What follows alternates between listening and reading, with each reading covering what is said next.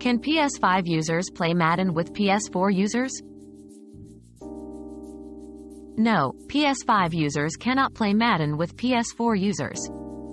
Madden 21 has separate versions for PS4 and PS5, and they have different servers. Crossplay between the two consoles is not supported. Therefore, players on PS4 and PS5 cannot play together. If you want to play Madden with friends on a different console, you need to have the same version of the game and the same console.